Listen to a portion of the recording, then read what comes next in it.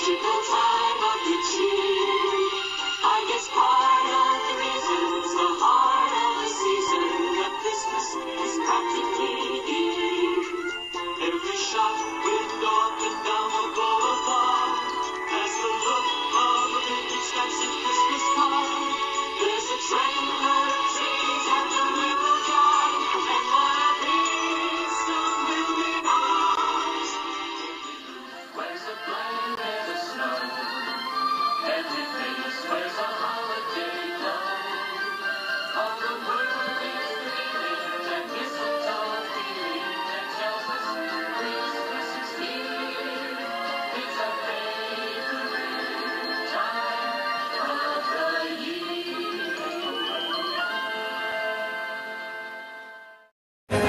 Was Christmas on the island of Sodor. All the engines were working hard. Thomas and Toby were busy carrying people and parcels up and down the branch line. Everyone was happy. Only the coaches, Annie and Clarabel, were complaining. Oh, they came here before Christmas. We feel so fine. We feel so fine. Oh, come on. Where's your festive spirit? Christmas Day is almost here. said Thomas. By the side of the track was a little cottage with a familiar figure waving to them. It's Mrs. Kindley. Peep, peep. Happy Christmas. whistled Thomas.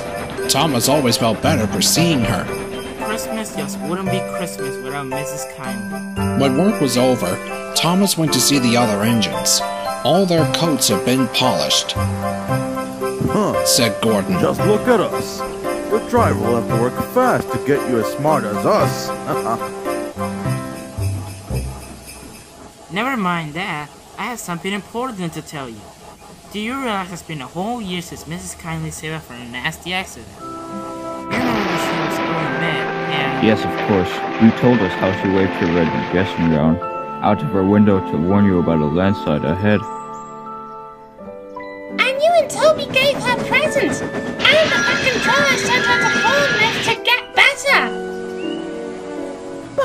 The rest of us person have never thanked her properly. Exactly. So now I think we should give her a very special Christmas party. Everyone was getting very excited, and the drivers felt sure that Sir Topham Hatt would agree, as indeed he did. The engines were all busy making plans when silence fell. Sir Topham Hatt had bad news. The weather's changed badly. Mrs. Kindley is snowed up. Toby says he'll help to rescue her. You must help too, Thomas. There's no party unless you do. Thomas hated snow, but he said Yes, bravely, sir. We must rescue her, sir. There's a good engine. You and Toby will manage splendidly.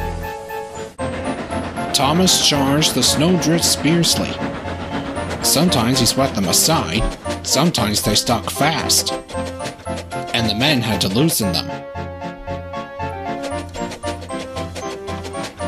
But at the cutting near the cottage, they could go no further, Look at that. exclaimed Thomas's fireman. Peep, peep. Here we are. An answering wave came from an upstairs window. Then they heard a familiar sound. That's Terence. Sure enough, Terence had a snowplow and was working hard to clear a patch to the railway line in safety. At long last, the rescue was complete. Percy took the tired workman home. Terence said goodbye to Mrs. Kindley and promised to take care of her cottage as he watched them all set off.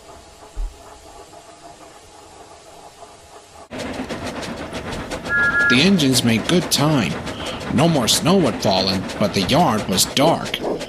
There was no one to be seen. Thomas's heart sank.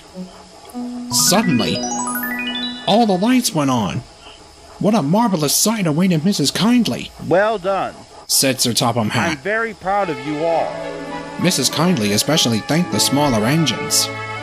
Thomas and Toby are old friends. And now, Percy, you're my friend too. Percy was very pleased. Three cheers for Mrs. Kindley!